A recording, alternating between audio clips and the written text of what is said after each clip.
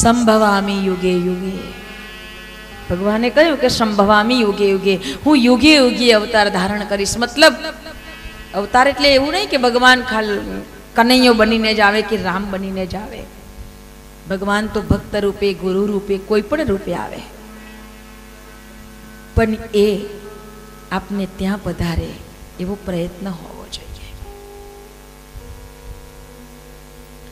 વ્યાસનારાયણે એ બતાવ્યું, આપણને પ્રમાણ આપ્યું કે સ્વયંના દોષ શોધો. કેટલી મોટી હસ્તી હતી, છતાં પણ એને એમ કહ્યું કે મારામાં કોઈ ખામી છે. અને એટલે મને અશાંતિ લાગે છે, બેચેની લાગે છે. ત્યારે દેવરસિંહ ઋષિ નારદે કહ્યું કે મારા પિતાએ મને જે ચતુશ્લોકી ભાગવત આપ્યું છે, એ હું તમને આપું છું, તમે એનો વિસ્તાર કરો. એના એ જ્ઞાનનો વિસ્તાર કરો, જેથી કરીને સંસારી જીવોને પણ યોગીઓને સમાધિમાં જે આનંદ મળે એ આનંદ આ ભાગવતના શરણમાં બેસવાથી, ભાગવતનું સ્મરણ કરવાથી, ભાગવતનું શ્રવણ કરવાથી એને પ્રાપ્ત થશે. એટલે તો પરમ પૂજ્ય પ્રાતઃ સ્મરણીય ડોંગરેજી મહારાજે એમ કહ્યું કે ભાગવતના સ્મરણ માટે બેસો ને, તો એક નિયમ પાડજો દરરોજ સમયથી આવજો. પોતાની એક જ જગ્યા ઉપર બેસજો. અલ્પાહાર કરજો. બની શકે એટલું અહીંયા બેઠા પછી બીજી ચર્ચા બંધ કરજો, મન એકાગ્ર કરજો, શ્રદ્ધાને સ્થિર કરજો. કેટલા નિયમો બતાવ્યા છે. બ્રહ્મચર્યનું પાલન કરજો. આ દિવસો દરમિયાન આપણા હૃદયમાં પ્રભુ પધારે છે. અને પ્રભુ જ્યારે પધારતા હોય ત્યારે આપનું તન, મન, હૃદય અંતઃકરણ શુદ્ધ હોવું જોઈએ, પવિત્ર હોવું જોઈએ. ધીમે ધીમે તેને સ્થિરતા મળે એવા આપના ઊંચા લક્ષણો બનાવ્યો. વ્યવહાર શુદ્ધિ. ચિંતન ચરિત્ર ને વ્યવહારને ઉચ્ચ બનાવો. દેવર્ષિ ઋષિ નારદે જ્યારે વ્યાસનારાયણ પ્રભુને કહ્યું કે તમે આનો વિસ્તાર કરો, ત્યારે વ્યાસનારાયણ કહેવા લાગ્યા કે એનાથી શું થશે? આટલા બધા શાસ્ત્રો લખ્યા. હવે આને લખવું કઈ જરૂરી છે? આટલું બધું નહોતું? આટલા આટલા પુરાણો હતા, છતાંય શું કામ લખવું જોઈએ? ત્યારે વ્યાસ નારાયણને દેવર શિરુષિ નારદ ખૂબ સુંદર વાત સમજાવે છે. દેવર શિરુષિ નારદ કહેવા લાગ્યા કે, હે વ્યાસ નારાયણ પ્રભુ, આપ તો જ્ઞાના અવતાર છો. સ્વયં ભગવાનનો જ્ઞાના અવતાર એટલે વ્યાસ નારાયણ પ્રભુ. સાંભળો, હું તમને આનો વિસ્તાર કરવા માટે એટલે કહું છું કે આ સત્સંગ જો સંસારી જીવોને મળશે ને, તો સંસારી જીવોનું પરમ કલ્યાણ થશે. કેવી રીતે? પૂર્વ જન્મમાં હું એક દાસી પુત્ર હતો. દેવર્ષિ ઋષિ નારદે પોતાનું જીવન વૃત્તાંત સંભળાવ્યું. દાસી પુત્ર હોવાને નાતે હું મારી માની સાથે રહેતો હતો. મારી મા કેટલાય લોકોના ઘરનું કામ કરતી અને જે કાંઈ મળતું એમાં અમે મા દીકરો પોતાનું ગુજરાન ચલાવતા. મારું નામ હરિયો હતું. મારી માં એક દિવસ બધાયના ઘરના કામ કરીને આવે, ભોજન લઈને આવે એટલે અમે ખાતા. પણ જ્યારે માં બપોરનો સમય થયો, હાથમાં ભોજનનું પાત્ર લઈને આવતી હતી, હું મારી આજુબાજુમાં રહેનારા આદિવાસી બાળકોની સાથે રમતો હતો. રમતમાં ને રમતમાં મારા મોઢામાંથી ગાળ નીકળી, અપશબ્દ નીકળ્યા. જેના કારણે મારી માના હાથમાં રહેલું પાત્ર પડી ગયું કે મારો હરિયો આવા અપશબ્દ બોલવા લાગ્યો, આવી ગાળ ગલોચી કરવા લાગ્યો? અરે રે રે, આવા આદિવાસી છોકરાઓની સાથે જો એ રહેશે તો કોણ જાણે આગળ જતા શું બનશે? અને એટલે મારી માને અપાર દુઃખ થયું. બાળક, કુમાર્ગે ચાલે, તો સૌથી પહેલું દુઃખ માને થાય. દરેક માને એવી ઈચ્છા હોય કે મારો દીકરો શ્રવણ જેવો બને. દરેક માને ઈચ્છા હોય કે મારો દીકરો સારો બને, મારો દીકરો સદગુણી બને. કારણ કે સંસારમાં બે જ વ્યક્તિ એવી છે કે જે અહેતુ હેત કરનારી હોય. એક તો સ્વયં પરમાત્મા અને એક જન્મ દેનારી માં. એટલે તો દુનિયામાં કવિઓએ પણ માના માટે કહ્યું છે કે માં એ માં અને બીજા બધાય વગડાના. મારી માં એટલી ક્રોધિત થઈ ગઈ, એટલી દુઃખી થઈ ગઈ, મારો હાથ પકડી અને મને કહેવા લાગી કે ચાલ, હું તને હવે અહીંયા નહીં રહેવા દઉં. મારી માં મને હાથ ખેંચીને ચલાવતી ચલાવતી કેટલી દૂર સુધી લઈ ગઈ. દૂર દૂર સુધી મારી મા મને ખેંચી ખેંચીને લઈ ગઈ, ત્યારે મેં માને કહ્યું કે માં, મને થાક લાગ્યો છે. નારદજી આજે પોતાની માને યાદ કરી આંખમાં આંસુ ભરાયા છે. કારણ કે દુનિયામાં બાળક માટે એક માં જ એવી છે કે જે બધું જ કરી છૂટે. જન્મે ત્યારથી એક માં જ બાળકને સાચવી સાચવીને મોટો કરે. તમે જુઓ કે દરેક પશુ અને પક્ષી એ બાળકને જન્મ આપે, બચ્ચાને જન્મ આપે ને? પછી બચ્ચું એની જાતે જ ઉડતા ચાલતા શીખે. પણ એક માણસનું બચ્ચું એવું છે કે જન્મ્યા પછી માને એને બહુ જ સાચવવું પડે. સાચવવું પડે એને સુવડાવવામાં, હાથમાં પકડવામાં, નવડાવવામાં, ખવડાવવામાં બહુ ધ્યાન રાખવું પડે. બાળકને અમુક વસ્તુ ન પચે તો માને એ ખાવાની છોડી દેવી પડે. માએ કેવી રીતે મોટા કર્યા છે આપણને ખબર છે?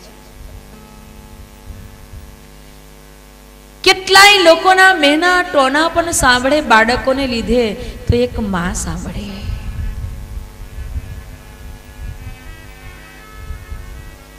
ગમે એવું ચોમાસાનો સમય હોય, ધોધમાર વરસાદ પડતો હોય, ગલીમાં ગાળો થઈ ગયો હોય, ગારો ગોલીને પણ બાળકને તાવ આવતો હોય તો બાળકને જલ્દી સાજો કેમ કરીને કરવું એટલા માટે માં અડધી રાત્રે ઉઠે.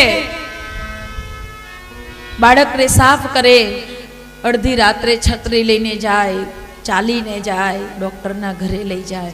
ગમે તેમ થાય ડૉક્ટર સાહેબ, તમે મારા બાળકની દવા કરો. અને એ માં બાળકને જ્યાં સુધી સારો ન થાય, ત્યાં સુધી એની કેટલી માનતાઓ રાખે. માનતાઓ રાખે કે મારો દીકરો સારો થઈ જાય, સારો થઈ જાય. ક્યાં સુધી?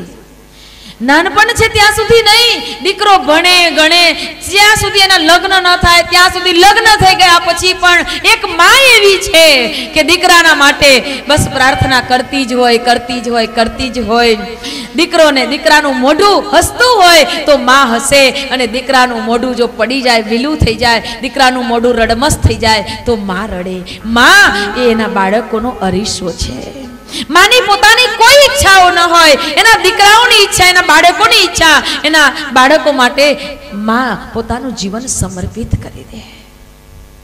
એ માં, એટલે તો સંતોએ કહ્યું કે તારે ભગવાનને જોવા હોય ને, તો દુનિયામાં માને જોઈએ ભગવાન પણ જે કરે ને, એ માં કરે. દીકરો ગમે એટલો મોટો થાય, તો એ માં એમ કહે કે મારા દીકરાનું ભલું થાઓ. ભલે ને દીકરાએ લાત મારીને માને કાઢી મૂકી હોય.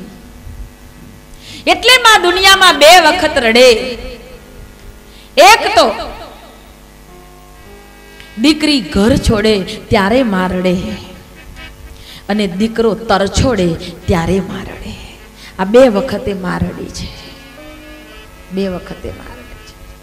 એટલે તો કોઈ પ્રેમી પ્રેમિકાએ પ્રેમીને કહ્યું કે, તું મને બહુ પ્રેમ કરતો હોય, તો તારી માનું કાળજું લઈ આવ. એક પ્રેમીએ પ્રેમિકાને કહ્યું કે, તું તારી, તું મને બહુ પ્રેમ કરતો હોય, તો તારી માનું કાળજું લઈ આવ. પ્રેમી દોડતો ઘરે ગયો. ઘરે જઈને રસોડામાંથી મોટું ચાકુ લઈ આવ્યો. માં સૂતી હતી. માની છાતીમાં ખંજર ઘૂસી દીધું. અને એમાંથી ધબકતું કાળજું હૃદય લઈ અને પ્રેમી દોટ મૂકે છે પ્રેમિકાને મળવા માટે. રસ્તે દોડતા દોડતા ઠોકર વાગી. હાથમાંથી ધબકતું હૃદય પડી ગયું. ત્યારે એ ધબકતું હૃદય પડેલું હૃદય, એ માનું હૃદય હતું. એ ધબકતા હૃદયે એમ કહ્યું, બેટા, તને વાગ્યું તો નથી રે આ માં, આ જે માને કદી પોતાનો કોઈ આનંદ નથી, એને બાળકો માટે જ પોતાનું જીવન સમર્પિત કરી દીધું. એ માં. નારદજી ખુદ રડી રહ્યા છે, એક દેવર્ષિ, એક ઋષિ રડી રહ્યા છે, કે મેં મારી માને કહ્યું કે માં મને થાક લાગ્યો અને મારી માએ મને ઉંચકી લીધો. પણ હે વ્યાસ નારાયણ પ્રભુ, મને આજે પણ રુદન થાય કે મારી માને થાક તો લાગ્યો જ હશે ને. મારી માં કોને કહેવા જાય? મારી માં કોને કેવા જાય? બાળકને મોટું કરવું કોઈ સામાન્ય વાત થોડી છે? અરે જે ઘરમાં માના આશીર્વાદ વરસતા હોય ને, જે ઘરમાં દીકરા મા બાપની સેવા કરે ને, એ દીકરાઓને તો મંદિરમાં જવાની પણ જરૂર ના પડે. જીવતા, જાગતા દેવના આશીર્વાદ મેળવી લે. એને દેવ મંદિરમાં પણ કોઈ જરૂર નથી. એટલે સંતો કહે કે ઉમરા વાડીને પૂજી લ્યો, તો ડુંગરા વાડી સુધી જવાની કોઈ જરૂર નથી, કોઈ જરૂર નથી. એટલે તો કવિઓએ પણ એ માને કેટલી બિરદાવી અને કહ્યું, મધુને મીઠા મે હુલારેલો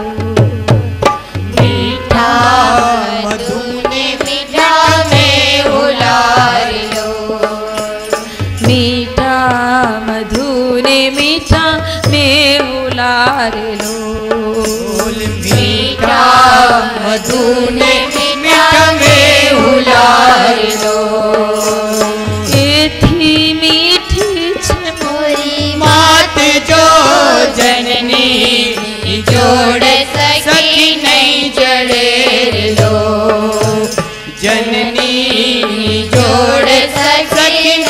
जड़े માત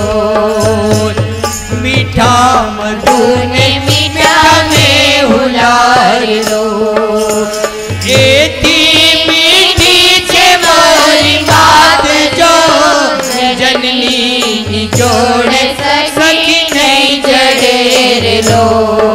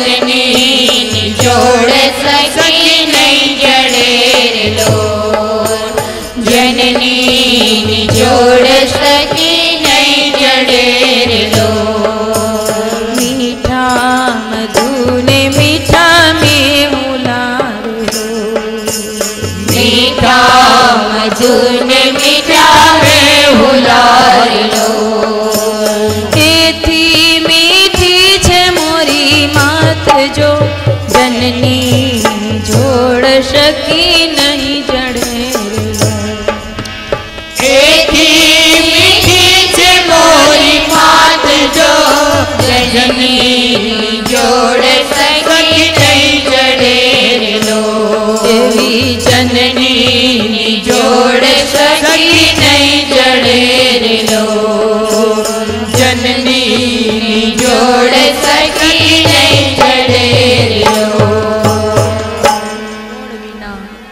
મોડો કંસાર, મા વિના સૂનો સંસાર. જે ઘરમાં મા ન હોય, ઘર ઘર ના બને. ખુદ એક ઋષિ, માના એ અપાર પ્રેમ ઉપર રુદન કરતા કરતા કહી રહ્યા છે કે મારી માં મને ઉચકીને ચાલી. મેં માને કહ્યું કે માં મને ભૂખ લાગી છે. મારી માએ મને આંબા નીચે બેસાડ્યો, પથ્થર મારીને કેરી પાડી. હું દોડીને ગયો ને કેરી ખાઈ ગયો. હે વ્યાસ નારાયણ પ્રભુ, આજે જન્મ વીતી ગયો છતાંય આજે બીજા જન્મમાં આપણને મારી મા માટે મારું હૃદય ભરાય આવે. મને આજે પણ એમ થાય કે હું તો કેરી ખાઈ ગયો.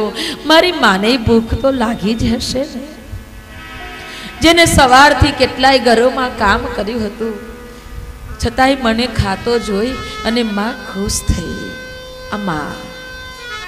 આ માં. ઘરની અંદર કદાચ અચાનક મહેમાન આવી જાય, તો બધાયને ભોજન માટે બેસાડી દે અને વળતી રસોડામાંથી સાદ કરીને કોઈ બોલે કે તમ તમારે નિરાતે જમજો, અમારી ચિંતા ન કરતા. મારે તો આજે ગુરુવાર છે કે અમાસ છે કે પૂનમ છે કે અગિયારસ છે. તો આવું કેનાર કોણ હશે? એ રસોડામાંથી આવનારો અવાજ એક માનો હશે, એક માનો હશે. આમાં આમાં, મા માટે તમે જેટલું કરો, એટલું ઓછું. જેટલું કરો, એટલું ઓછું.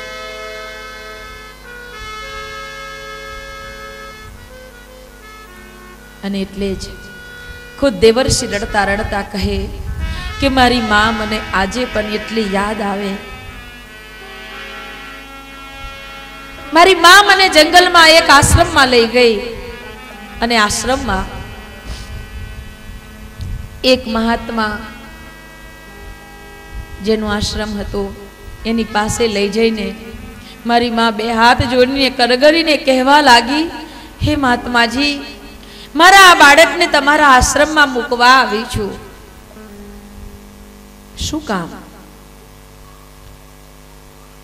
તો કે મારું બાળક ગમે તેવા છોકરાઓની સાથે રમે અને જીવન વેડફી નાખી, એના કરતા તમારા આશ્રમમાં રહીને સેવા કરશે ને, તો એનો આ જન્મ તો સાર્થક થઈ જશે. સાધુ સંતોની સેવા એટલે ભગવાનની સેવા કહેવાય. અને આ જન્મ મળ્યા પછી ભગવાનની સેવા ન કરો, તો એ શું કામનું? સંતોની સાધુની સેવા ન કરો, તો આ જન્મ શું કામનો? ભક્તિ ન કરો, તો આ જન્મ શું કામનો? તમે કેટલા રૂપિયા કમાયા એ મહત્વનું નથી. મહત્વનું એ છે કે તમે કેટલી ભક્તિનું બાથું ભર્યું. તમે એ બેલેન્સ કેટલું બનાવ્યું એ મહત્વનું છે સોના ચાંદી, હીરા મોતીના દાગીના પહેરશો તો કદાચ શરીર સારું દેખાશે. પણ જે શરીર અંતે તો લાકડા ભેગું થવાનું છે, એ શરીરને શણગાર કરી કરીને શું કરશો? અંતે તો જે લઈ જવાનું છે, એ ભાથું તૈયાર ન કરીએ. ભગવાન ન ભજીએ, હરિ ન ભજીએ, પ્રભુનું સ્મરણ ન કરીએ, તો બેકાર છે આ જિંદગી. બેકાર છે. મારી માએ કરીને કહ્યું કે મારા બાળકને તમે આશ્રમમાં રાખો, એ સેવા કરશે. મહાત્માજીએ પૂછ્યું કે, અરે, તમને એવું નથી થતું કે આ નાનો બાળક તમારા વગર કેમ રહેશે? તમે ક્યાં જશો? મારી માએ કહ્યું, મહાત્માજી, મને પણ જો સેવામાં રાખશો તો હું રસોઈ ઘરમાં સેવા કરીશ. મને એક ટાઈમ ભોજન આપશો ને તોય ચાલશે, પણ મારા બાળકને સંતોની સેવા તો મળશે. વિચાર કરો કે સંતોની સેવા મળે એટલા માટે એક માં એક ટાઈમ ભોજનથી પણ સેવા કરવાનો સ્વીકાર કરે છે. દુનિયામાં આવ્યા છીએ, કામ તો કરવાનું જ છે, કામ કરીને જીવન ચલાવવાનું છે. ગમે ત્યાં કામ તો કરવું જ પડશે, પણ કોને ત્યાં કામ કરો છો એ મહત્વનું છે. તમે કોને ત્યાં કામ કરો, કોની સાથે જોડાયા એ મહત્વનું છે.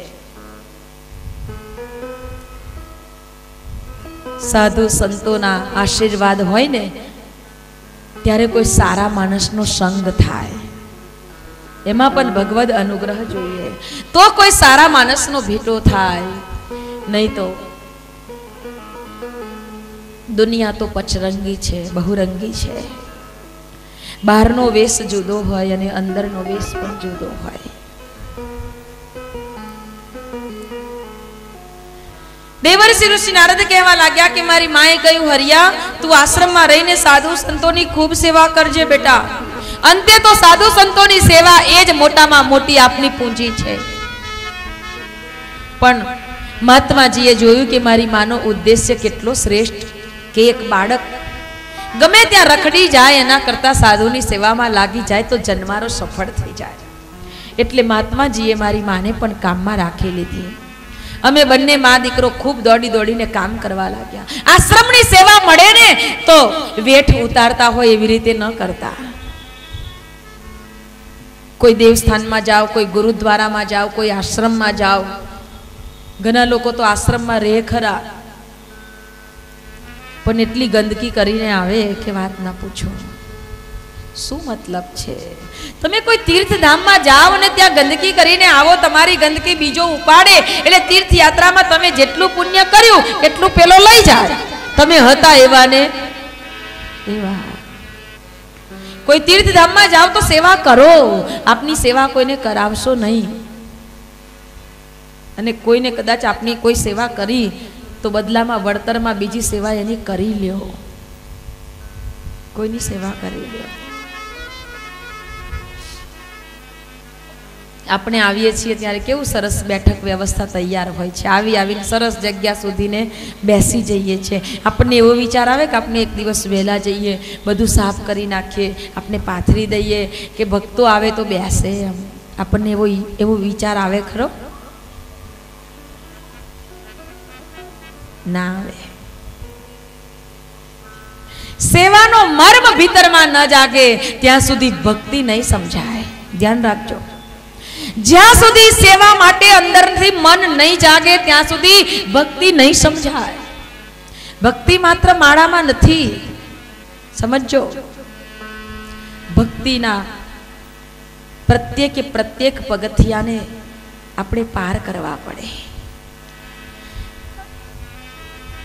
અને એટલે તો ભગવાન શ્રી કૃષ્ણ યોગેશ્વરે પણ પહેલા જ્ઞાન યોગ પછી કર્મ યોગ અને પછી ભક્તિ યોગ બધા.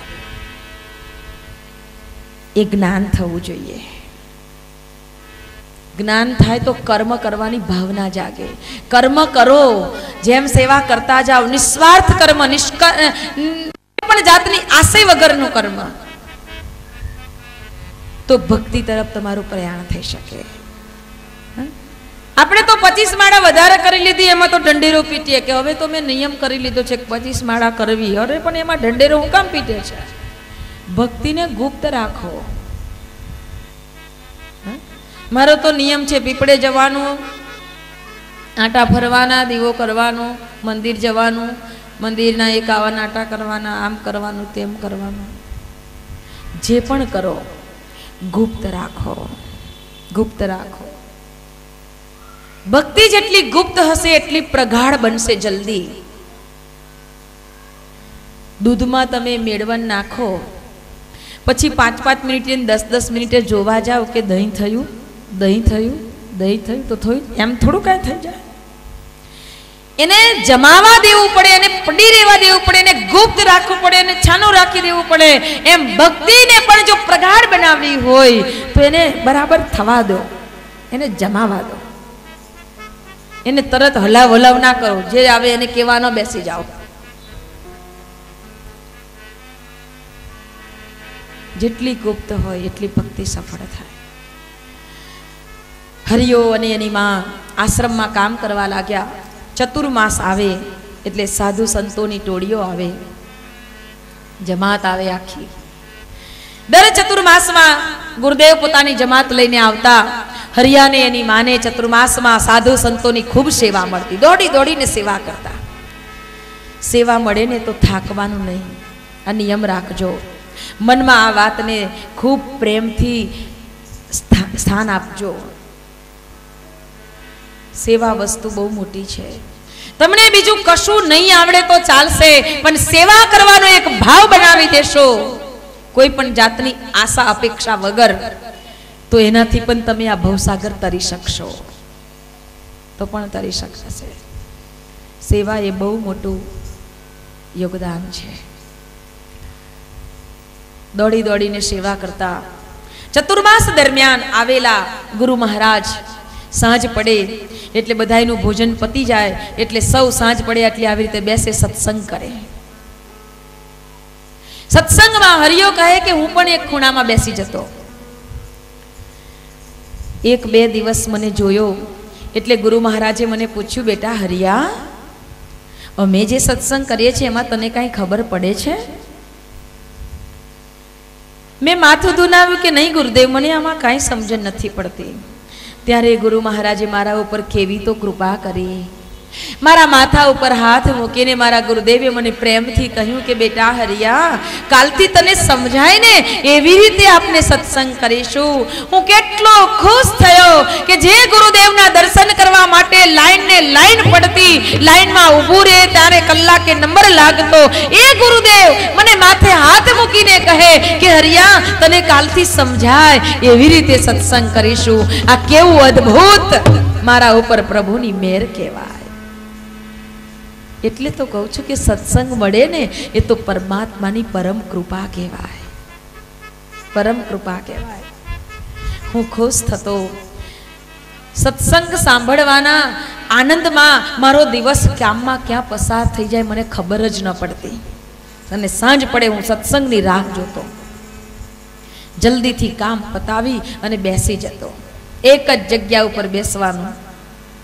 સત્સંગ સાંભળતો, સત્સંગ સાંભળતા સાંભળતા મને ગુરુ મહારાજ પ્રત્યે અનન્ય પ્રેમ જાગ્યો. ભગવાનને મળવું હોય તો પહેલામાં પહેલા સદગુરુ પ્રત્યે પ્રેમ જાગે. અપાર પ્રેમ હોવો જોઈએ ગુરુદેવ પ્રત્યે. સદગુરુ પ્રત્યેનો અનન્ય પ્રેમ તમને ભગવાનથી ભેટો કરાવી દે. અરે, સ્વયં ભગવાનની ઝાંખી કરાવી દે. પરમ પૂજ્ય ગુરુદેવ યુગ ઋષિ યુગ દ્રષ્ટા વેદમૂર્તિ તપોનિષ પંડિત શ્રી રામ શર્મા આચાર્યજી. અખિલ વિશ્વ ગાયત્રી પરિવારના પ્રણેતા પ્રવર્તક, સંરક્ષક, મહાકાલ પ્રજ્ઞા અવતાર સ્વરૂપ પરમ પૂજ્ય ગુરુદેવને અત્યારે આ મિશનની ધરાને સંભાળતા વિશ્વવિદ્યાલયના કુલાધિપતિ એવા પરમ આદરણીય શ્રદ્ધેય ડૉક્ટર સાહેબ, કે જેમને પોતાના જીવનનો એક પ્રસંગ કહ્યો હતો.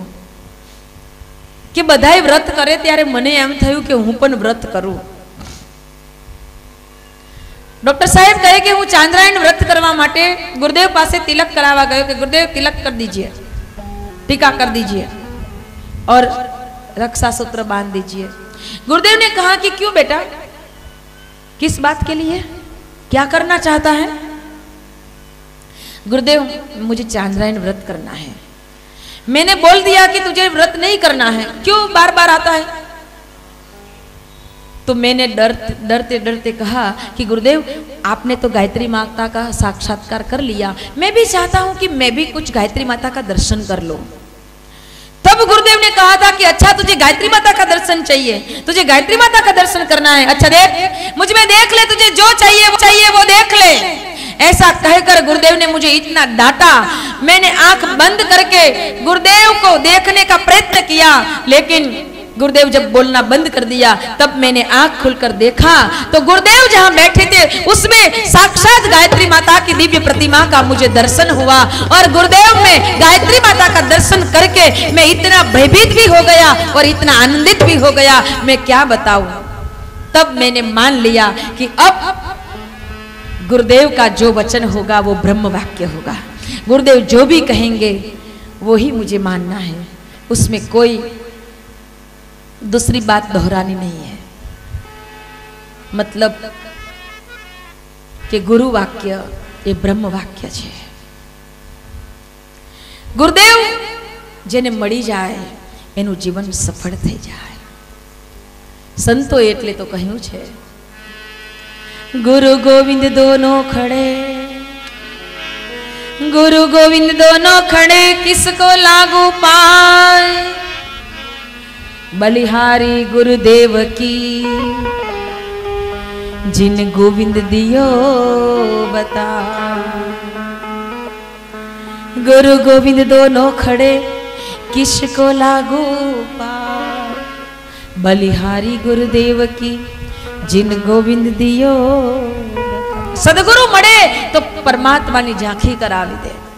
અને હું તો ઝાંખી થાય કે ન થાય, નાનો બાળક હતો, પણ ગુરુદેવ પ્રત્યે અનન્ય પ્રેમ હતો. પ્રગાઢ પ્રેમ.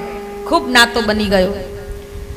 સમય વીતતો ગયો, ગુરુદેવને જવાનો સમય આવ્યો, ત્યારે હું રડતો રડતો ગુરુદેવને કહેવા લાગ્યો કે ગુરુદેવ, તમે હવે જશો ને, મને તમારી સાથે લઈ જાજો. મને તમારી સાથે લઈ જાજો.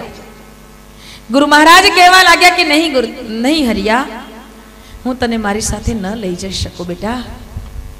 તારી માનું ઋણ તારા ઉપર બાકી છે. હજી એ ચૂકવવું પડશે. એની સેવા કરજે.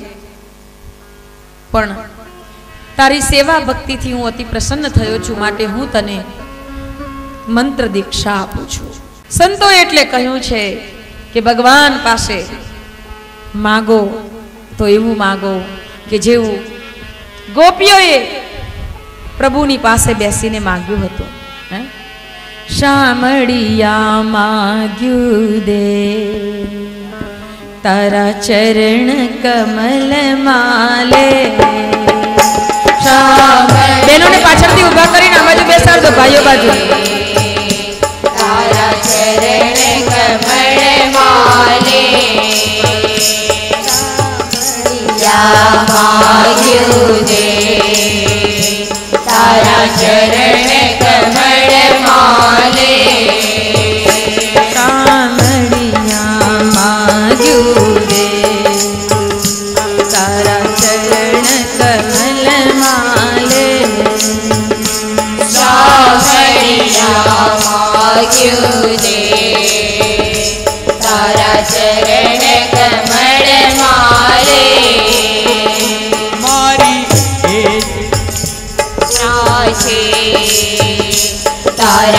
ચરણ કમળ માલે.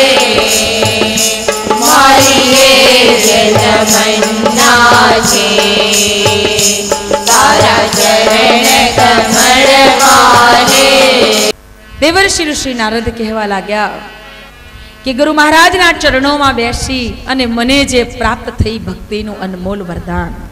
મારા ગુરુદેવ કહેવા લાગ્યા કે બેટા તું મારી સાથે ન આવી શકે. પણ છતાંય તને આટલો બધો ભાવ છે, તેથી હું તને એટલું જરૂર કહીશ કે તું, હું તને જે મંત્ર આપું, એ મંત્રનું સતત રટન કરજે. સમય આવશે, તારી મા સાથેનું તારું કર્તવ્ય પૂરું થશે લેણ દેણ પૂરું થશે. એટલે તું અહીંયાથી નીકળી, ગંગા કિનારે બેસી અને આ મંત્રનું રટન કરજે. એનાથી તને ભગવાનના દર્શન થશે. મારા ગુરુદેવે મને વાસુદેવ ગાયત્રી મંત્રની દીક્ષા આપી ઓમ નમો ભગવતે તુભ્યં વાસુદેવાય ધીમહિ પ્રદ્યુમ્નાય નિરુદ્ધાય નમઃ શંકર્ષણાય ચ ઓમ નમો ભગવતે તુભ્યમ વાસુદેવાય ધીમહિ પ્રદ્યુમ્નાય અનિરુદ્ધાય નમઃ શંકર્ષણાય ચ તમામ પાપોને કર્ષણ કરે ખેંચી લે પાપ મુક્ત બનાવી દે એવા પ્રભુ પરમાત્માને ધીમહી મારા ભીતરમાં હું ધારણ કરું એ પરમાત્મા મારા જીવનને સુંદર બનાવે મુક્ત બનાવે ભાગવતમાં ડગલે ને પગલે ગાયત્રી મહામંત્રની દીક્ષા અને શિક્ષા બતાવેલી છે. વાસુદેવ ગાયત્રી મંત્રની દીક્ષા મળી, હું ન્યાલ થઈ ગયો, એ મંત્રનું રટન કરવા લાગ્યો. રસોઈ કરતા કરતા, કામ કરતા કરતા પણ હવે હું એ મંત્રનો જપ કરવા લાગ્યો. રસોઈ બનાવો ને મારી બહેનો. કથા સાંભળીને ગયા પછી કમસે કમ. રસોઈ બનાવતી વખતે સિરિયલ ચાલુ કરાય.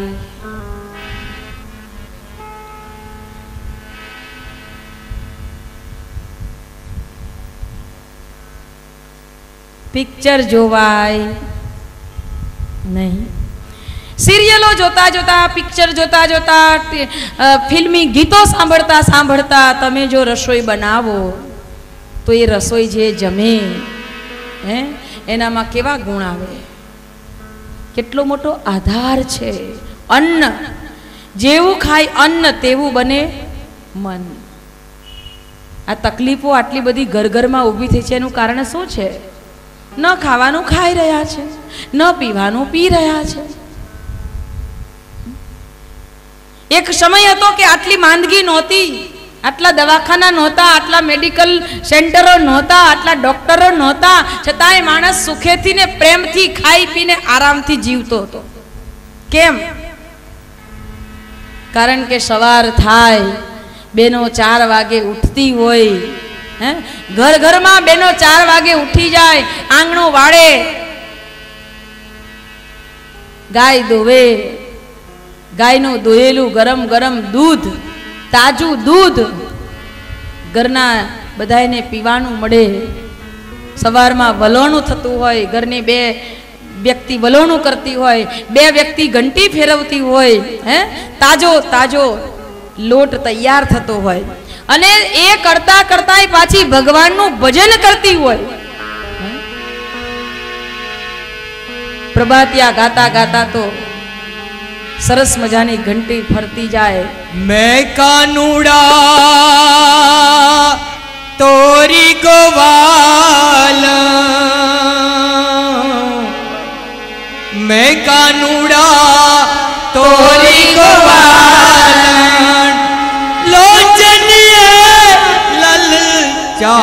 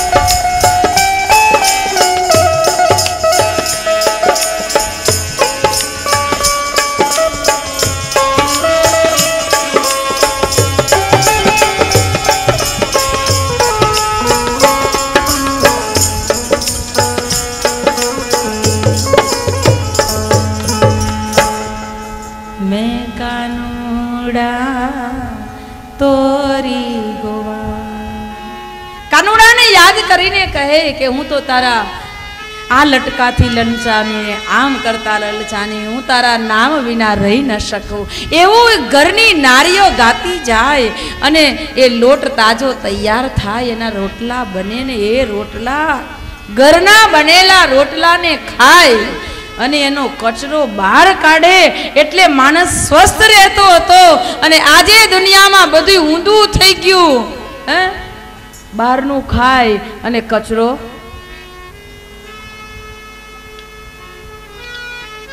શું થાય પછી? દવાખાના ન ભરાય તો શું થાય? ન ખાવાનું ખાવા લાગ્યો માણસ, તમે વિચાર કરો કે દુનિયામાં સૌથી શ્રેષ્ઠમાં શ્રેષ્ઠ પ્રાણી કોણ? તો માણસ. બુદ્ધિશાળી માણસ. હે? બુદ્ધિશાળી પ્રાણી કોણ? તો માણસ. પણ એ બુદ્ધિશાળી કહેવાતો માણસ જે ગામડામાં ભેંસ રાખે ને, ભેંસને શું કે ગામડી ભાષામાં? ડોબું. ડોબું કે. બુદ્ધિશાળી માણસ જે કામ કરે ને, પણ ડોબાને ખબર પડે કે આ કરવા જેવું નથી, તો એ ન કરે. એ ડોબાને ખબર પડે. બુદ્ધિશાળી માણસ આજે ન ખાવાનું ખાઈ રહ્યો છે. તમે જુઓ કે માવા બધા એના મોઢા એવા ભરેલા હોય છે, મને એમ થાય કે આનું શું થશે બરાબર શું થશે? કેમ આ માણસ નથી સમજતો? તમે એ તમને બહુ ટેસ્ટી લાગતા માવા, પેલી ડોબું કહેવાય ને, એને ડોબાને મૂકી આવજો થોડુંક ત્રાસમાં કાઢીને. એ સૂંઘે પણ નહીં, મોઢું ફેરવી દેશે. કેમ? તો કે આ ખાવા જેવું છે એને ખવાય? એને ધક્કો મારી દેશે. એને નહીં ખાય.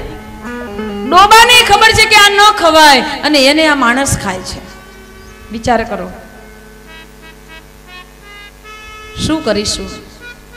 માણસ જાતે જાતે માણસ પોતાની જાતને બરબાદ કરી રહ્યો છે. ભગવાને આપેલું કેટલું દિવ્ય દેહ બડે ભાગ માનુસ તન પાવા, સુર દુર્લભ સદ ગ્રંથ ગાવા. સંતોએ, ઋષિઓએ એને કેટલું વખાણ્યું. જન્મ જન્મના પુણ્ય ઉદિત થાય ત્યારે માનવ દેહ મળે. ચોર્યાસી લાખ યોનિમાં પરિભ્રમણ કરીને આવ્યા પછી કેટલા અપાર કષ્ટો સહન કર્યા પછી આપણને માનવ દેહ મળે અને માનવ દેહ મળ્યા પછી આપણે એને બરબાદ કરી દઈએ. આટલી સમજદારી છે આપણી. બસ. મારા વડીલોને, યુવાન ભાઈઓને હું મોઢા ભરેલા જોઉં છું ને તો મને આમ કાંઈ થઈ જાય. શું કરું? દુઃખ થાય છે મને ખૂબ. કેમ? એમને નથી ખબર કે આની પાછળનું પરિણામ કેટલું ખતરનાક છે? સમય અત્યારે તમને સારો લાગશે, પરંતુ સમય વીતતા ભયંકર બીમારીમાં પડશો, તમારું ઘર ખાલી થઈ જશે. તમારા બાળકો ભીખ માંગતા થઈ જશે. શું તમને તમારા બાળકોની પણ દયા નથી આવતી? તમારી પત્નીને ગરગરની ઠોકરો ખાવી પડશે. પેટ ભરવા માટે લોકોના ઘરના કામ કરવા પડશે. શું ગમશે તમને? આજે કેટલી યુવાન દીકરીઓ વિધવા થઈ રહી છે. કેમ? આજે યુવાનોએ પોતાની યુવાની બરબાદ કરી નાખી. પચીસ, ત્રીસ વર્ષનો માણસ આમ હાવ કોઈ પ્રાણ વગરનો પૂતડા જેવો થઈને ફરે. આમ ધક્કો મારે તો પડી જાય. બસ આટલું જ શીખ્યા આપને? આપણને આ જ આવડ્યું? અને બહાદુરી તો એટલી મારે કે આપના જેવું તો કોઈ નહીં. અરે તારામાં એટલી વીરતા હોય તો છોડી બતાવ એને અને છોડી દે ત્યારે કહેવાય વીર નહીં, તને મહાવીર કહી દઈએ. પણ છોડી તો બતાવ. એનો ત્યાગ કર. અને એટલો બધો જુસ્સો હોય, તને ખુમારી હોય, તો ભારત માતાની લાજ બતાવવા સીમાડે પહોંચી જા, સૈનિકમાં ભરતી થઈ જા. યુવાની એને કહેવાય કે જેને ભારત માતાના ચરણોમાં અર્પણ કરી દીધી. અને એટલે જ એક હરિયાની, એક દાસીએ એ વિચારી લીધું કે મારું બાળક રખડી જશે, મારું બાળક ગમે તેવું બની જશે અને હું મારા બાળકને કોઈ સંતના સાનિધ્યમાં મૂકી આવું. બાળક સુધરે. બાળકને એના દૈવી ગુણો પ્રાપ્ત થાય. તમે શું કરશો? તમે તમારું બાળક ક્યાં મૂકવા જશો? તમે તમારા બાળકને કેવી રીતે કહી શકશો કે બેટા, આ યોગ્ય નથી, આ ન ખવાય? તમને સામો પ્રશ્ન કરશે કે બાપુ, તમે કેમ ખાવ છો? શું કરશો? વડીલોને વિનંતી, મારા યુવાન દીકરાઓને વિનંતી, મારા ભાઈઓને વિનંતી. કે કથા સાંભળતા સાંભળતા સાત દિવસમાં કદાચ ભીતરમાં એક અંશ પ્રભુ માટે પ્રેમ જાગી જાય, તો સાતમા દિવસે મારા લાલાના ચરણોમાં મૂકી દેજો કે, લાલા, હું તને દક્ષિણામાં આ મારો માવો આપું છું, આ મારી પોટલી આપું છું, આ મારી તમાકુ આપું છું. આપજો. અને મારી બહેનોને વિનંતી બેનો તાળી પાડી, પણ સાંભળો, તમારો વારો છે. તમારો વારો છે. મારી બહેનોને વિનંતી કે છેલ્લા દિવસે થોડો પણ પ્રેમ પ્રભુ માટે જાગ્યો હોય તો મારા લાલાના ચરણોમાં મૂકી દેજો આપના ભીતરમાં રહેલા તમામ દૂષણોને. દૂષણોને મૂકી દેજો. ખોટું બોલવાની ટેવ હોય, વારે વારે ઝઘડા કરવાની ટેવ હોય, બહુ બોલવાની ટેવ હોય, બાળકોને મારવાની ટેવ હોય, ઘરમાં કંકાસ કજિયા કરવાની ટેવ હોય, પાડોશી જોડે લડવાની ટેવ હોય, એ આ બધી કુટેવોને મૂકી દેજો.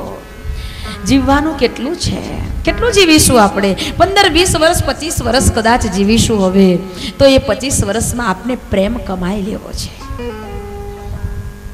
બધાની સાથે મૈત્રીપૂર્ણ વ્યવહારથી ભાથું બાંધવું છે. એવો એક સંકલ્પ કરી લેજો. શું લઈ જવાના છે? જે છે એમાંથી કાંઈ લઈ જવાનું તો છે નહીં. બસ. બધાને મારે કંઈક આપી દેવું છે અને કાંઈ આપવાની વસ્તુ ના મળે તો પ્રેમથી મીઠું હાસ્ય તો આપો. આ તો જ્યારે જુએ ત્યારે પેલી પચી દાડાની કઢી ખાધી હોય એમ.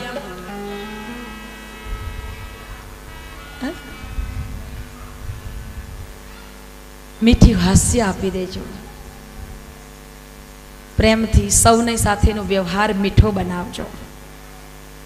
અને ઠેકાણું નહીં ઘડી પછી શું થવાનું છે?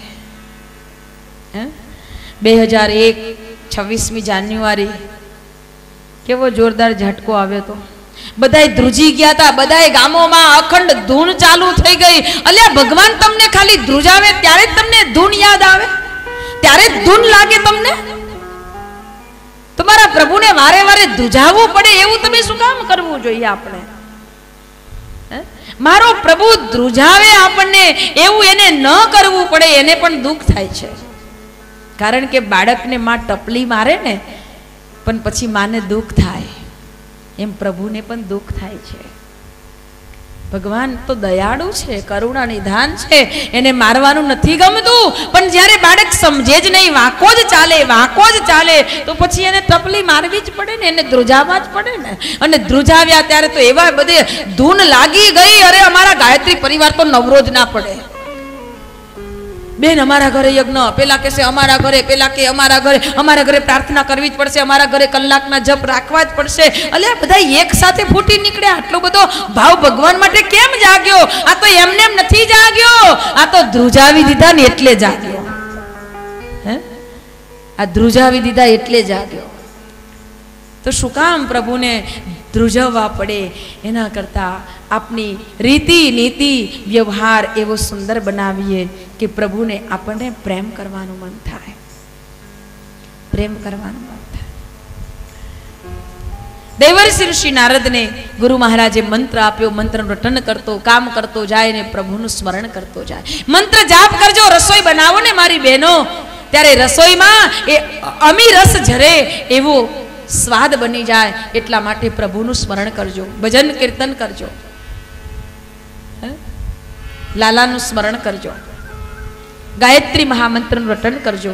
અને એમાંય બે હજાર બાર, તેર અને ચૌદ સૂર્ય સાધના વર્ષ કહેવાયું છે.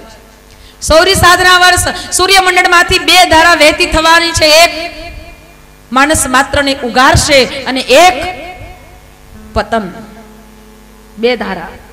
જે સૂર્ય ઉપાસનાની સાથે જોડાશે એને એની દિવ્ય શક્તિનો લાભ મળશે. અને તેથી સૌને વિનંતી છે હરતા ફરતા પણ ગાયત્રી મંત્રનું રટન આપણા ઘરમાં નિત્ય કરજો. કરજો બીજા ઘરના જેટલા હોય એટલાને કહેજો કે કરે. વિશેષ રૂપમાં સૂર્ય મંત્ર ફાવે તો સૂર્ય મંત્ર કરો.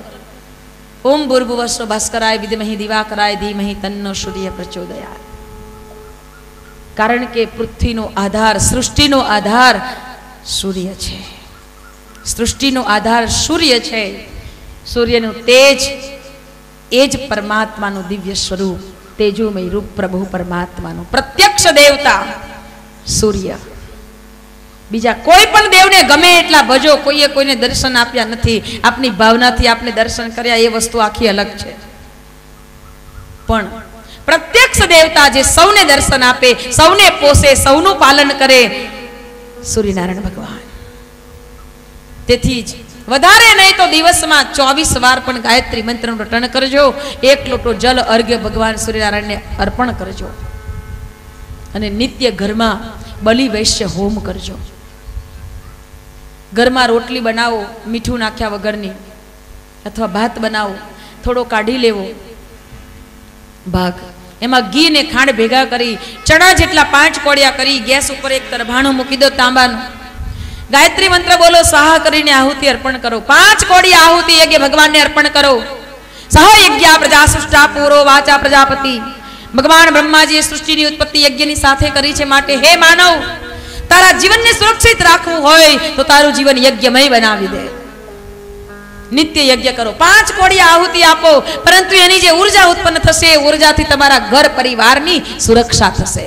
પરમ પૂજ્ય ગુરુદેવે ભવિષ્યવાણીમાં બતાવ્યું હતું કે બેટા, આવનારા સમયમાં એવો રોગચાળો ફાટી નીકળશે કે ઘરની બધી જ વ્યક્તિ રોગમાં ફસાયેલી હશે. કોઈ કોઈની સેવા નહીં કરી શકે. એવો સમય આવશે. એ સમયમાંથી બચવું હોય. તમારા ઘરમાં રોગચાળો ના ફાટે એવું ઈચ્છતા હોય. ઘરની તમામ વ્યક્તિઓને સુરક્ષિત રાખવા માંગતા હોય, તો નિત્ય પાંચ કોડી આહુતિ આપી દે. બસ. પાંચ કોડી આહુતિ. તમે જુઓ, એની ઊર્જા શક્તિ ઘરનું વાતાવરણ બદલશે. સવારે બ્રહ્મ મુહૂર્તમાં ઉઠવાનું રાખો. ઓઝોન વાયુ અમૃત વેલા કહેવાય. એ વાયુનું જેટલું ગ્રહણ કરાય એટલું કરો. એ સમય અત્યંત મહત્વનો છે. શુદ્ધ પવિત્ર વાતાવરણ નિર્માણ કરો. યજ્ઞ રૂપ પ્રભુ હમારે ભાવ ઉજ્જવલ કીજીએ, છોડ દેવે છલ કપટ કો માનસિક બલ દીજીએ. છળ કપટમાંથી બચો. ભાવ ઉજ્જવળ બનાવો. જેને ભાવ ઉજ્જવળ બનાવ્યા એનું ઉજ્જવળ ભવિષ્ય સુનિશ્ચિત છે. અને તેથી માનવ માત્રના કલ્યાણ માટે, વ્યક્તિ માત્રના ઉજ્જવળ ભવિષ્ય માટે, માનવમાં દેવત્વના ઉદય માટે, ધરતી ઉપર સ્વર્ગને સાકાર કરવા માટે નાની નાની બાબતોને જો વ્યક્તિ જીવનમાં અપનાવી લેશે ને, એનો જીવન વ્યવહાર સુધારી દેશે ને, તો આ ધરતી ઉપર સ્વર્ગ આપણને જોવાનું મળશે. સ્વર્ગને લાવવા માટે આટલી વિધિ કરો. સ્વયં એક સમયમાં એક ગામડાની બાઈએ પોતાના બાળકને સંતના ચરણમાં મૂકી દીધું હતું. એને જીવન યજ્ઞમય બનાવી દીધું. જીવન યજ્ઞમય બનાવી દીધું. દેવર્ષિ ઋષિ નારદ કહેવા લાગ્યા કે, હરિય, મારું નામ અને હરિયાના રૂપે હરિનું સ્મરણ કરતો કરતો હું સમય વિતાવા લાગ્યો મારા ગુરુ મહારાજને જે દિવસે જવાનું હતું, એ દિવસે દોડી દોડીને ગુરુદેવની સેવા કરતો. ગુરુદેવ ભોજન માટે બેઠા, હું પ્રસાદ પીરસતો રહ્યો. ગુરુ મહારાજે મારા ઉપર અમી દ્રષ્ટિ કરીને જોયું અને કહ્યું, બેટા હરિયા, તે ભોજન લીધું? મેં કહ્યું, નહીં ગુરુદેવ મારા ગુરુદેવે અપાર પ્રેમ દર્શાવીને પોતાની પતરાળમાંથી મારા માટે ભાગ રહેવા દીધો અને કહ્યું, બેટા હરિયા, તું આ ખાઈ લેજે. એનો મને હૃદયમાં ખૂબ દુઃખ હતું. ગુરુદેવ ગયા પછી મને ચેન ન પડતું. હું નામ જપ કરતો રહ્યો. સમય આવ્યો. મારી માને એક દિવસ ખૂબ વરસાદ પડ્યો. ગૌશાળામાં ખણ નાખવા માટે મારી માં ગઈ. ત્યારે એને એક અજગરે દંશ દીધો અને મારી માનું મૃત્યુ થયું. મારી મા મરી ગઈ એટલે મને દુઃખ તો ઘણું થયું, પણ એક બાબતથી મને સુખ પણ થયું, આનંદ થયો. મારા ગુરુ મહારાજનું વાક્ય મને યાદ આવ્યું કે, બેટા, તારી ભક્તિ સફળ થશે ને એટલે તારી મા સાથેનું લેણદેન પૂરું થશે. સંસારમાં દરેક વ્યક્તિ પોતાનું લેણદેન પૂરું કરવા માટે આવે છે. એટલે કોઈએ કોઈના પ્રત્યે રાગ દ્વેષ ન રાખવો. આપણી અજ્ઞાનતાને કારણે આપણે એકબીજાને કેવા દોષારોપણ કરી દઈએ છીએ કે આને લીધે આમ થયું, આના કારણે આમ થયું આને આવું કર્યું આને તેવું કર્યું. કોઈએ કોઈને દોષ ન દેવો. માના અંતિમ ક્રિયા પૂરી કરી અને હું આશ્રમ છોડીને ગંગા કિનારે ગયો. ગંગામાં સ્નાન કરી, ગંગાજળનું પાન કરી, એક વૃક્ષ નીચે બેસી મારા ગુરુદેવે આપેલા મંત્ર રટન કરતો કરતો હું એટલો બધો જ્ઞાન થવા લાગ્યો, શુદ્ધ થવા લાગ્યો. એક દિવસ પ્રભુએ મને ઝાંખી કરાવી. ભગવાનના દર્શન થયા અને એ દર્શનથી હું જ્ઞાન થયો. એ દર્શન મારા હૃદયમાં હું શોધવા લાગ્યો. ત્યારે ભગવાને મને અવાજ કરીને કહ્યું, હે હરિયા, હવે તને મારી ઝાંખી નહીં થાય. મારા નામનું રટન કર. તને અવશ્ય તેનું ફળ મળશે. હું પ્રભુનું દર્શન કરતાં કરતાં, એને શોધતા શોધતા, નામ સ્મરણ કરતાં કરતાં, મારું શરીર ક્યારે શાંત થયું એની મને ખબર ન પડી. પરંતુ એટલું ઊંચું સત્સંગ અને પ્રભુ નામનું સ્મરણ, સદગુરુનો સંપર્ક, સદગુરુનો મેળાપ, એના કારણે, હે વ્યાસ નારાયણ પ્રભુ, એક હરિયા નામનો દીકરો, આદિવાસી છોકરાઓની સાથે રમતો હતો, પણ મારી માએ એક સંતનો ભેટો કરાવી દીધો. એના કારણે મને બ્રહ્માજીના પુત્ર, માનસ પુત્ર, નારદજી ઋષિના રૂપમાં જન્મ મળ્યો. તમે ભક્તિ કરો છો ને? દરેક જીવ ભક્તિ કરે છે, કોઈએ એમ ન સમજવું કે આમાંથી તો મને કાંઈ ન મળ્યું. આ જન્મમાં નહીં તો આવતા જન્મમાં ભક્તિનું ફળ તો મળશે મળશે ને મળશે જ. ખાલી નહીં જાય. અને તેથી કહીએ છીએ કે સત્સંગમાં જેટલી રુચિ રખાય, એટલી રુચિ રાખો. જેટલી શ્રદ્ધાથી બેસાય, એટલી શ્રદ્ધાથી બેસો. શ્રદ્ધા વગરનો કરેલો સત્સંગ માત્ર પરિશ્રમ છે. શ્રદ્ધા વગરની કરેલી ભક્તિ માત્ર પરિશ્રમ છે. કર્મ કરો ને શ્રદ્ધાથી કરો. કોઈને સારું લગાડવા માટે નહીં. કોઈને બતાવવા માટે નહીં. માત્ર મારા આત્માના કલ્યાણ માટે, પ્રભુના પ્રેમને મેળવવા માટે ભાવ એ બનાવેલો રાખો. દેવર્ષિ ઋષિ નારદ કહેવા લાગ્યા, એટલે હું તમને કહું છું, હે વ્યાસ નારાયણ પ્રભુ તમે આ ચતુશ્લોકી ભાગવતની સુંદર રીતે રચના કરો. વ્યાસ નારાયણ પ્રભુને થયું કે વાત સાચી છે. સત્સંગનો આટલો લાભ હોય તો હું ભાગવતનો વિસ્તાર કરીશ. અને ભાગવતનો વિસ્તાર કરવા માટે વેદવ્યાસ નારાયણ પ્રભુ તૈયાર થયા. વિચાર કરવા લાગ્યા કે આ લક્ષ્ય કોણ? તેથી વ્યાસજીએ રિદ્ધિ સિદ્ધિના સ્વામી વિવેકના દેવતા ગણપતિ દાદાનું સ્મરણ કર્યું વિઘ્નેશ્વરાય વરદાય સુર પ્રિયાય લંબોદરાય સકલાય જગત્પિતાય નાગાનનાય श्रुताय। गौरीश्रुताय गणनाथ नमो नमस्ते। विद्यारम्भे विवाहे च प्रवेशे निर्गमे तथा सङ्ग्रामसङ्कटे चैव विघ्नः जायते। દંતકપિલગજકર્ણકલંબોદરશ વિકટ વિઘ્નાશ વિનાયક ધૂમ્રકેતુર્ગણાધ્યક્ષ ભાલચંદ્ર ગુજાનંદ ભગવાન ગણપતિના દ્વાદશ નામનું સ્મરણ કર્યું ભગવાન ગણપતિને પ્રાર્થના કરી આવો પ્રભુ ગણપતિજી પધાર્યા ગણપતિજીએ આવીને જોયું। વ્યાસનારાયણને પૂછ્યું કે કેમ યાદ કર્યા? વ્યાસનારાયણ પ્રભુ કહેવા લાગ્યા યોગીઓને સમાધિમાં જે આનંદ મળે છે, એ આનંદ સંસારીઓને આપવો છે. અને એ આનંદ સંસારીઓને આપવા માટે મારે ભાગવત મહાપુરાણની રચના કરવી છે. હું કથા તો કહું, પણ લખે કોણ? મતલબ, તમારે લેખક બનવાનું, લહિયા બનવાનું.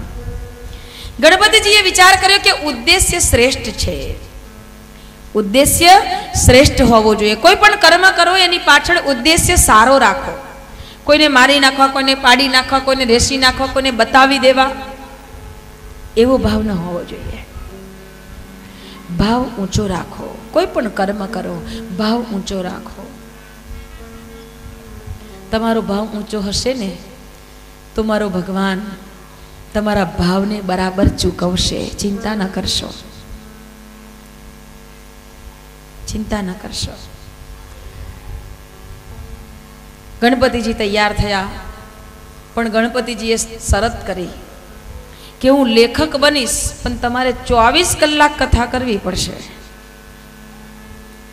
ચોવીસ કલાક કથા કહેવી પડશે? હવે અહીંયાથી એવી જાહેરાત કરીએ કે ચોવીસ કલાક કથા કહેવામાં આવશે તો તમારામાંથી કેટલા બેસો? એ કહે નહીં. તમે તો નવરા છો, બેસો. અમે કાંઈ નવરા છીએ? અમે કાંઈ નવરા નથી, હો?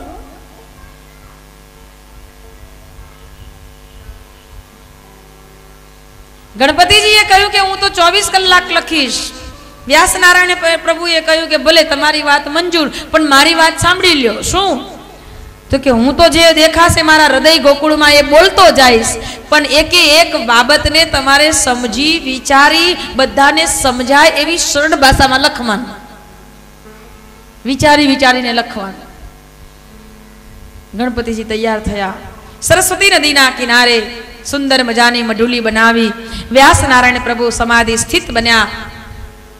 હૃદય ગોકુલમાં જે દર્શન થતા ગયા, એમ વ્યાસનારાયણ બોલતા ગયા, ગણપતિજી લખતા ગયા, સો સો શ્લોક પૂરા થાય એટલે એક કુટ પ્રશ્ન મૂકવામાં આવે. ગણપતિજી વિચાર કરતા રહે.